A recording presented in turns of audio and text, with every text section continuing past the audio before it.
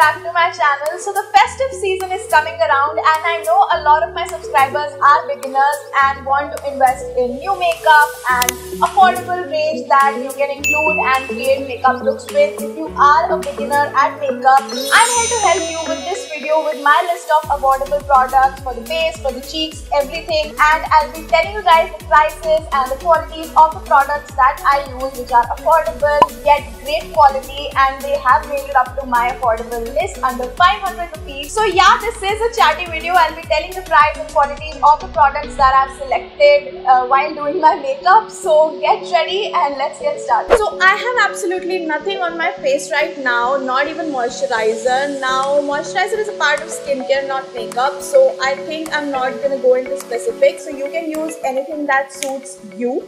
Uh, I'm just taking one pump and spreading it all over my face.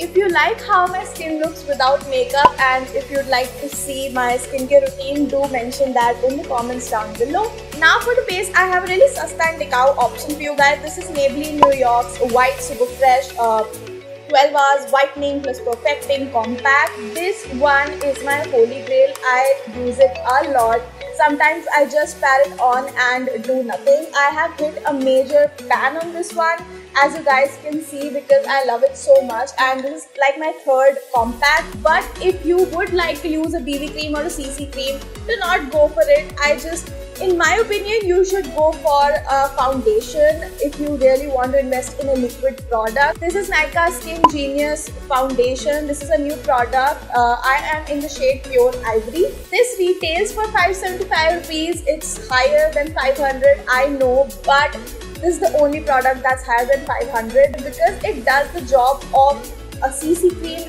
and a foundation all in one. If you want to apply it for just a sheer coverage, you can dab like take one drop and mix it all over your face. And if you want a full coverage, you can layer it up. It won't look cakey. So it pretty much does the job of everything. It's also sculpting and hydrating foundation. So it has moisturizer properties also. I'm just going to take like a single drop of it. You can see I've just taken a single drop of it. And within this drop, if you spread it out, it has a lot, a lot to cover. So I'm just going to dot it all over my face. And you also want some of it on your neck, just uh, spread it out like a normal natural cream. Now you really want to just blend it with your fingers because since you're a beginner, I am assuming that you won't have a lot of makeup brushes or makeup sponge. So you have to make do with your fingers only. So once you're happy with your base, you need a good concealer. Now I have Maybelline Fit Me Concealer. This one is great for beginners because it comes with this kind of a wand to just correct it out like this. I am in the shade 25 medium. I'm just going to take a bit of it and you can also do the same to uh, correct your acne spots or anything. I'm just taking a tad because it's a really really uh, creamy concealer so just be sure to correct only the spots that um, you find are a little bit darker on your face to minimize them so you can also make kind of a triangle under your eyes to conceal your dark circles because you really want to look glowy during the festive season. So I'm just taking it on the chin, on cupid's bow, the bridge of my nose, a little bit on the forehead. So since I am a beginner, I won't use my tools and I'm just trying to blend this uh, concealer under my eye by patting it gently. So you want to just pat, pat, pat and do not rub it off. Just try and pat the stuff like this. Next up for the eyes, especially your eyebrows, I have this very affordable Maybelline's Fashion Brow Duo Shaper in the shade uh, grey. But if you have really tiny brows or a really sparse condition, then you should use the variant in brown so that it looks more natural but I anyways use very less of it so that's not a problem. But this one is a really good uh, product because it has a powder part for you to just fill in and provide more pigmentation. Or if you want to shape your eyebrows it's really good to have this pencil part on the other side. So I am just going to take a little bit of the pencil part because I've had my eyebrows made up and done up. And what I like to do with the powder part is that uh, the front portion where the hair are a little bit vertical you just do this. Kind of provide a little bit natural quality to your eyebrows so they look a little bushy and natural. They do not look like you've just sketched it up or just made up something very unnatural so this gives a really really natural look and you can obviously correct it with your fingers and as a beginner it will be really helpful for you to use such kind of a helpful eyebrow pencil. So next up for the eyes I would advise you to go for a kajal instead of an eyeliner because kajal is really easy to use. Using Maybelline's Colossal Kajal in the variant Super Black. Now if you do not like kajal or if you've been using up kajal and you want to invest in something new, you should invest in Maybelline's The Colossal Liner because look at that tip. That tip is super duper long and precise and as a beginner I would not like to use a liquid liner where I can just mess it up and look all crazy. So this is really helpful, really precise. You can just use it as a sketch pen and if you're good in art, trust me, you'll get that wing liner just right. So I am just outlining the upper lash line like that till the end of my eye. And I think that's pretty much it. I think you can see my eyes, they are lined up.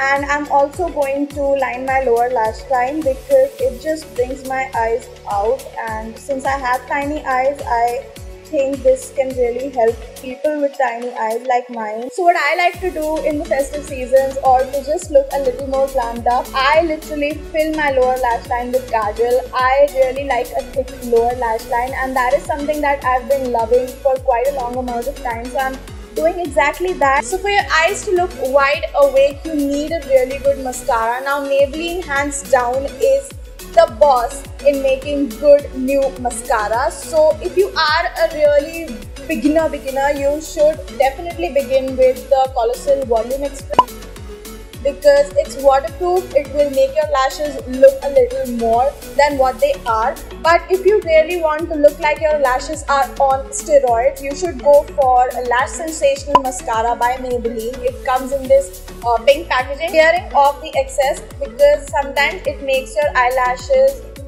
look like clumpy and all so make sure you do that. The trick to applying mascara is to just start from the bottom or closest to your eyelash and just wiggle it upward like so and do just that and it will make your lashes look really really nice now this is Odbo's uh, highlighter palette. You can use it as a highlighter, you can use it as an eyeshadow, you can use it as a blush. Yes, I'm to take the upper portion which is this pearly white part and I'm taking this on my pinky finger like this just a little bit because it's highly pigmented so you're taking just this much and just take the mirror up close and you want to fill the inner corners look wide awake so just pat it once and just pat it once here. And what you want to do is take another finger which is clean and just try to blend it nicely like so.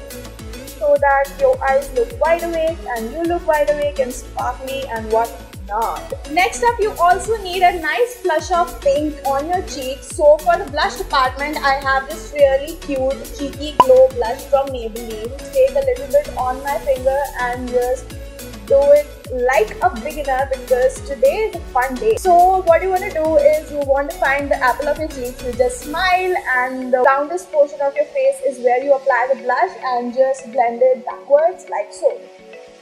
So you're going to smile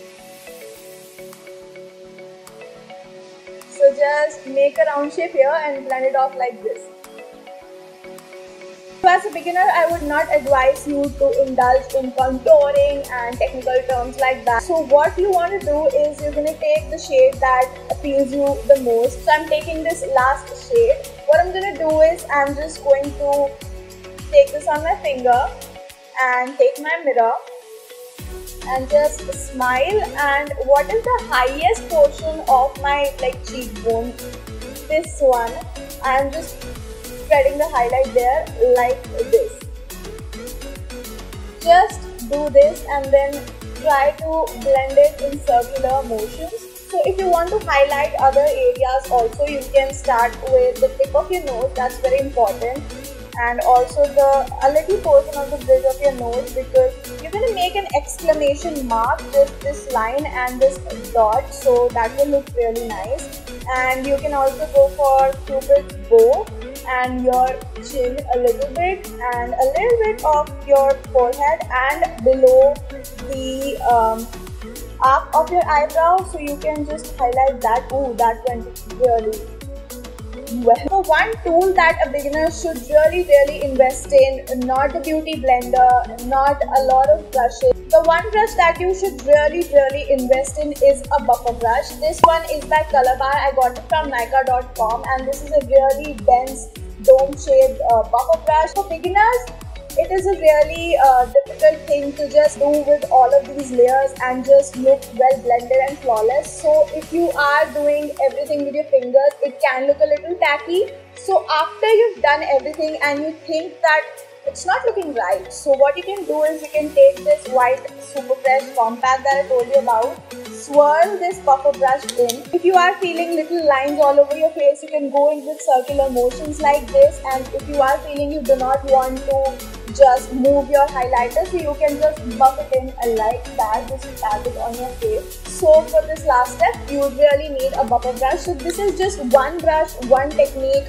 one thing one little investment you want to do when you are starting off with makeup because this is the solution to all your problems. So I have like a whole range of lipsticks that you can try in the festive season. Okay, I've made up my mind. I am going to use Caramel Mocha because as a beginner you should really invest in more subtle tones and do not go really crazy because we have outlined our eyes so boldly. I think we're gonna go with a little muted tone. So I'm using Caramel Mocha from the Nykaa So Matte collection. Oh my god, this is like a really really pretty chocolatey shade. I guess I just didn't use it from quite a long amount of time and I just forgot how it looked on me.